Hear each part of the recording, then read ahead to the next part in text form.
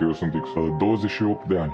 Momentul în care am făcut prima oară treaba asta a fost un moment în care voiam să impresionez uh, oamenii cu care eram și nu voiam să mă simt uh, respins. Cred că e o nevoie foarte mare, mai ales când crești, dar nu numai, să aparții, să simți că nu, ești, uh, că nu ești izolat de fapt. Că am, am, la acel moment aveam senzația că când am fost întrebat dacă vreau și eu să fumez, era ceva ce toată lumea făcea și mă gândeam că dacă zic nu o să fiu luat în râs. Deci da, e una e ca să impresionez, a doua e ca să aparții, să fii și tu parte din grup, pentru că ce e trist într-un fel în grupurile astea, mai ales atunci la început, când nu ești foarte conștient, drogul sau substanța ajunge să fie de fapt uh, cam singurul lucru care te ține cu adevărat legat și îi ține și pe restul. Sună așa cumva ca pe niște lucruri răzvorbite, dar din păcate așa e. Din păcate. Uh, pf, vârsta la care s-a întâmplat uh, introducerea mea în zona asta a fost, uh, nu știu ce vârstă am, dar știu că eram în clasa a șasea. În clasa a șasea, într-o zi de duminică, ai mei uitaseră într-un fel de mine, nu, nu era în stilul lor, mereu trebuie mă sunau, dar aia a fost o zi în care pur și simplu cred că nu și-au dat seama, poate credeau că sunt în cameră. Nu m-a sunat nimeni și știu că m-am întors acasă de unul singur la ora 12, care era mult trecut de ora mea. Mi-aduc aminte, mă rog, un lucru ușor amuzant uh, vis-a-vis de percepție și de modul în care te afectează. Am, uh, mi-am sunat uh, prietenul meu cel mai bun din, de la acea vreme și am vorbit tot drumul de la discoteca unde am fumat până acasă cu el la telefon și am ținut telefonul nu pe dos. Am vorbit cu mâna stângă, țineam la urechea dreaptă. Oricum arătam așa ca din desene animate și am mers așa vreo 20 de minute. Când am ajuns acasă mi-am dat seama că mă, mi-era mâna amorțită de la cât am mers și nu mi-am dat seama. Iar acasă când am uh, ajuns, ușa era închisă, ceea ce era rău, pentru că eu nu aveam cheie și asta însemna că cineva din casă trebuie să-mi deschidă. Deci cineva o să-mi vadă fața. Și aveam senzația că fața mea nu e o față potrivită atunci, la ora aia și după ce fumasem. Și știu că m-am fofilat imediat la acel moment, mi-a deschis uh, mama, care era cu treabă în bucătărie și am fugit rapid la baie, că nu mai puteam, că făceam pe mine, că era totul inventat, voiam doar să nu dau ochii cu ei, să nu mă vadă, să nu mă prindă și pot să duc treaba asta, exemplul ăsta și în altă parte. Lucrul cel mai uh, primejdios la utilizarea de substanțe este singurătatea, izolarea. Ușor, ușor, din păcate, 99% din cazuri, marea majoritate se izolează și după aia de aici vin alte urmări care te afectează și psihic, oricum te afectează psihic, drogul în sine, dar ai și repercursiuni de pe urma modului în care îți schimbi comportamentul. Nu mai vrei să ieși la fel de mult afară. În momentul prezent văd numai dezavantaje. La acel moment eram inconștient și nu aveam cum să văd. De asta un sfat bun pe care nu l-am luat, dar îmi vine uneori în minte, era nu e bine să o faci, dar e mai rău să o faci dacă nu ești conștient. Și din păcate, vârsta la care am început, în clasa 6 nu ești conștient și nu ești conștient nici după, nici între a 12-a. Sunt atâtea lucruri care ți iau fața și mintea și atenția și... Da, printre dezavantaje. Uf, am început cu izolarea, da? te, te izolezi de prieteni, te izolezi de familie, ușor, treptat, pentru că principalul motiv este că ascunzi ceea ce faci, că lumea nu o să te înțeleagă și nu vrei să atragi alte lucruri rele din pricina asta. Așa că marea majoritate ascund și o fac uh, deci singurătate și singurătate. Alt argument, alt dezavantaj uh, obișnuiești creierul Asta e o chestie învățată mai târziu. De asta zic că e important să fii conștient de ceea ce faci. Și la vârstele astea mici nu ai cum să fii conștient. Pe lângă asta, creierul tău nu e dezvoltat complet și revenind la dezavantaje, nu este indicat, dacă că vorbeam de a fuma substanțe, nu este indicat sub nicio formă să consumi lucruri dacă tu nu, nu ești dezvoltat și creierul nostru, cred că undeva până la 25 de ani se dezvoltă în întregime. Acum nu sunt medic, dar uh, în zona asta uh, au fost, m-au dus uh, ce cercetări am făcut. Da, uh, un rău atrage alt rău și după aia alt rău și e un întreg lanț vicios. Uh, cum să zic, mă gândesc când am uh, când eram în liceu, uh, au apărut uh, substanțele să fie un pic mai valabile, mai disponibile, mai ușor de procurat, prin niște puști, puștii ăia le-au dat altor puști, puștii au zis că e cool, au fumat, s-au drogat, au dat la alți puști și tot așa, și tot așa, și tot așa și în acel moment, da, părea că ești cool, că ești șmecher, că faci chestii pe care mintea ta vedea referințele astea la oameni șmecheri, oameni periculoși, oameni uh, fix ceea ce nu ești când ești un copil. Cam asta mi se pare și paradoxul în, în treaba asta. Că când ești inocent sau când ești mic, mi se pare un lucru rău să nu străiești tinerețea asta și partea frumoasă a ei și să vrei să fii uh, mare și cu griji și cu sau periculos sau uh, interesant, dar uh, lucrurile astea le poți atinge și altfel. Asta mi se pare un mijloc foarte facil și poate cel mai nefast și cel mai rău dintre toate. Într-o zi, într-o seară de fapt, am mers la o petrecere și înainte să mergem la petrecere, că eram cu mai mulți, am zis hai să mergem să ne luăm, să avem uh, ce să tragem la petrecere, să fie petrecerea mai petrecere decât e. Și atunci am mers la acest contact, uh, urcam scările și când am ajuns la ușa lui și i-am bătut, i-am scris că vin știa că vin și când i-am bătut, el avea obiceiul să deschidă direct ușa, mai ales că știa că vin. În momentul ăsta am simțit cum și-a luat secunde bune ca să se uite pe vizor să vadă cine e. Când deschide ușa, l-am văzut pe tipul ăsta desfigurat. Era plin de sânge, capul lui nu arăta, nu arăta bine deloc avea o ureche ruptă, avea o buză ruptă, avea pomeții umflați, era plin de sânge pe el, plin de sânge pe hainele lui, plin de sânge în casă, pe pereți, stropi de sânge pe pereți și palme de sânge pe pereți.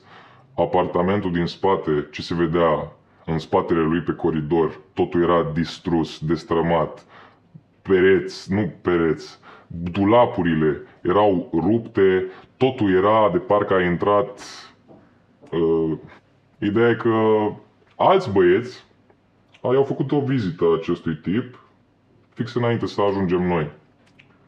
Băiatul ăsta voia să scape de substanțe, voia să... Era dependent la rândul lui, dependent pe niște substanțe uh, grele, trăgea des cocaină, MDMA, nu știu, crystal meth, chestii pe care până, acel, până în acel moment le văzusem doar la televizor, în seriale americane și um, era foarte afundat în treaba asta. Uh, și a strâns bani ca să aibă pentru reabilitare, pentru rehab, pentru uh, o clinică de dezintoxicare privată, mi-a zis planul lui, m-am bucurat foarte mult pentru el că a luat decizia asta și asta s-a întâmplat fix în ziua de dinainte să plece.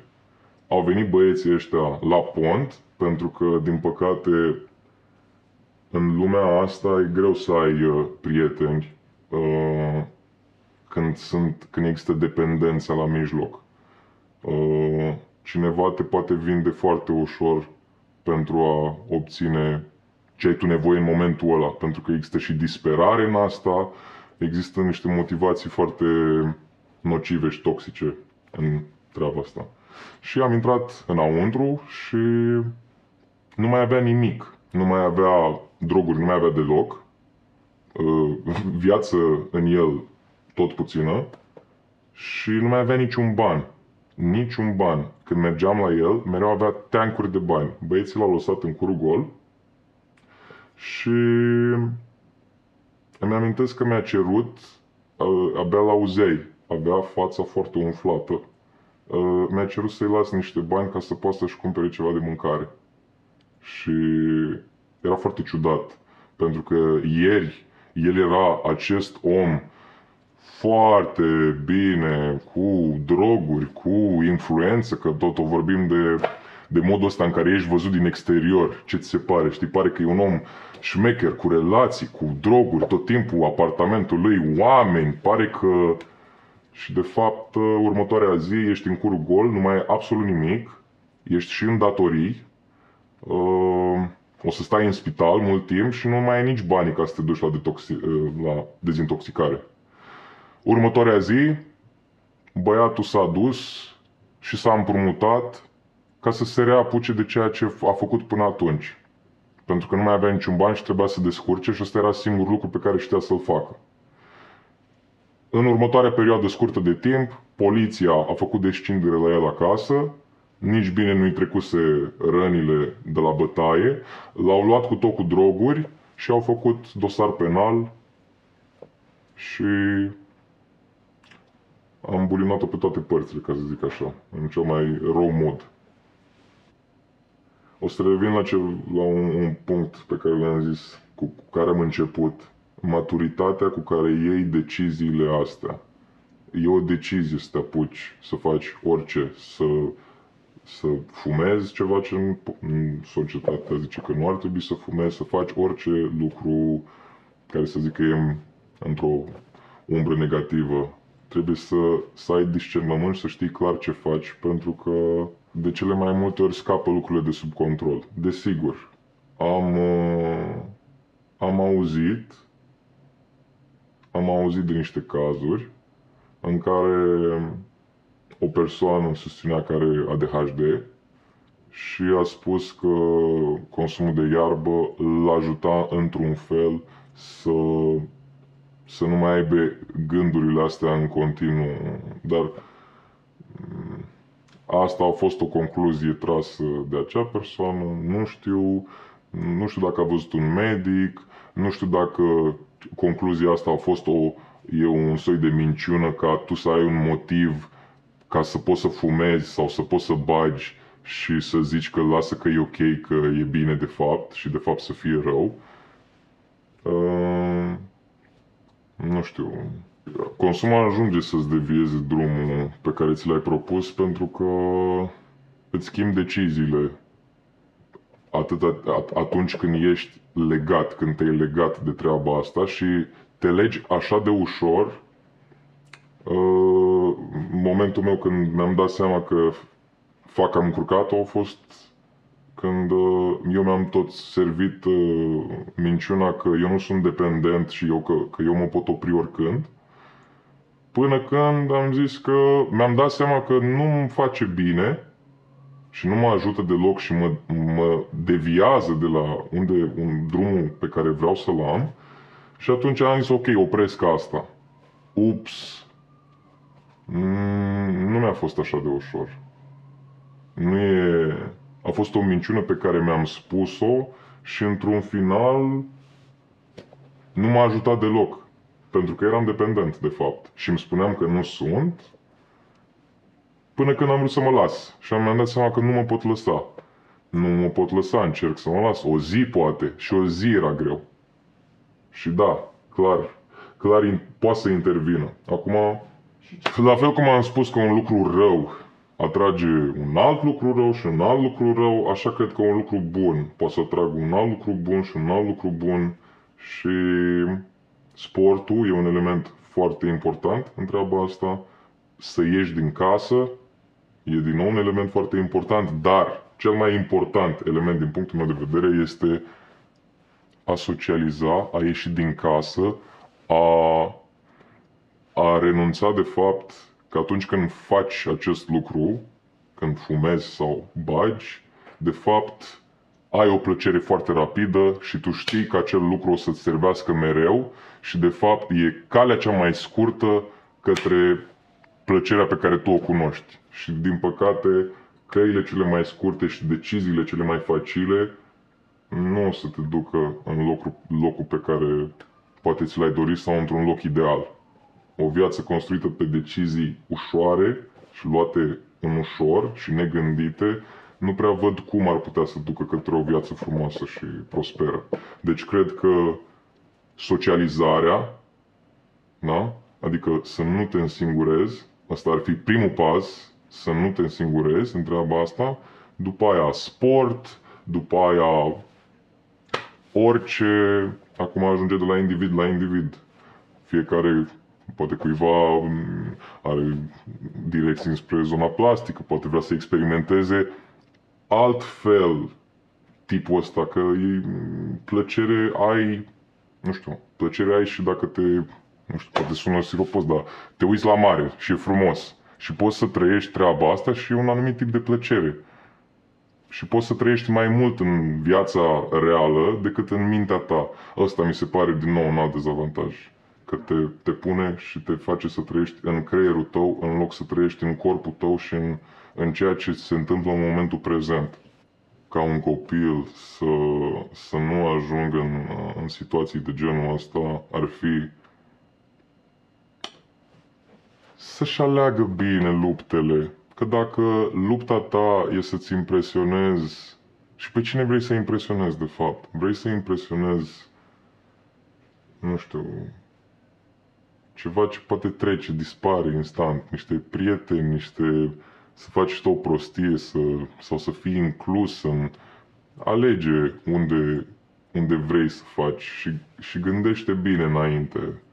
Nu lua decizii mari ușor pentru că consider consumul de substanțe o decizie mare și nu ar trebui de luat în ușor și nu ar trebui de luat din influența altor oameni. Gândește-te în momentul ăla dacă faci lucrul ăsta că vrei tu să-l faci sau îl faci ca să fie ok pentru restul. Dacă îl faci ca să fie ok pentru restul, mai bine te abții. 95% din uh, din relațiile și prietenii pe care i-am avut în, uh, în zona asta, nu, nu, nu că nu au rămas.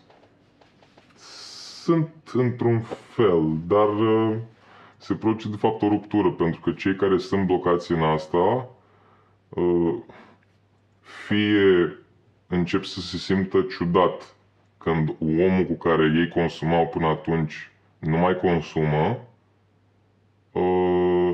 trezesc, am văzut asta, trezesc în ei un fel de neliniște, de, păi stai, eu, tu fumai cu mine, tu ți-o dădeai cu mine și acum nu ți-o mai dai, dar eu mi-o dau, dar asta ce înseamnă? Cum adică stai, uh, nu mai fumezi? Cum? Și de ce mai se întâmplă dăți în care să zică, hai, fumează cu mine, hai, fă, fă cu mine și tu ești, nu, mersi, nu, nu, nu e ok. Și pare că de multe ori ajungi să aia să fi fost fix lucru care vă lega în, în treaba asta. Și în momentul în care dispare elementul ăsta, cam dispare într-un fel și prietenia asta.